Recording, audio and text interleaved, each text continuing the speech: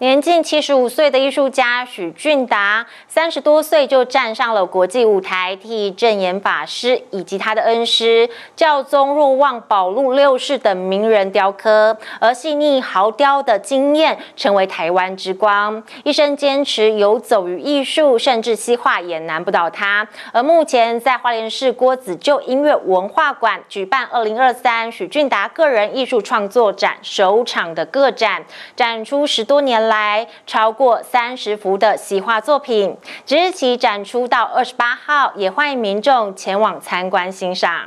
对于艺术的启蒙甚早，从小就跟随父亲学习书法挥毫。当年父亲反对走艺术这条路，年近七十五岁的艺术家许俊达，因为坚持梦想，如今打开了艺术专长领域。三十多岁就替正言法师、教宗若望保六六世等名人雕刻，惊艳的细腻豪雕成为台湾之光，甚至连西画都难不倒他。日前于花莲县郭子旧音乐文化馆举办二零二三许俊达个人艺术创作展首场个展，展出十年来超过三十幅的西画作品。因为要想玩自己的心情，把以前的作品拿出来以后看到，就把它裱框，就摆在家里自己欣赏。结果周老师就想说：“哎，你可以去弄。”我觉得我不喜欢自式的那种开展的感觉，那就现在丽丽、花美达、安口。摆了几张以后，哎，我感觉哎也不错啊，跟大家一种分享，就是这样而已。那老师就把我移过来这边，我就是这么这么简单，我也没有刻意的说要想表达什么，只是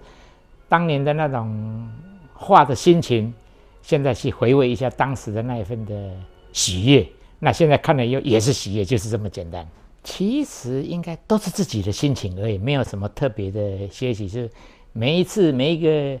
阶段的画风会有一点改变，就是完全就是心情，心情啊就是乱涂乱画，就把自己的心情玩出来，就是这样而已。所以这次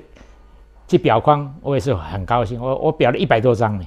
就是自己纯粹就是为了玩自己的心情。受郭子旧文化艺术基金会执行长周根利的邀请，将家中收藏的绘画跳脱制式开幕的框架，一一公开陈列分享。运用水彩、亚克力和广告颜料等媒材，用西画方式玩色彩、玩心情，展现缤纷色彩与爆发力。希望透过该展向观众传递对艺术创作的坚持与热衷，也回味当年绘画的心情和喜悦。即日起展出至十二月二十八日，在丽丽华美达安可饭店同步展出十二张璀璨系列画作，欢迎民众前往参观欣赏。记者蒋邦彦华联市报道。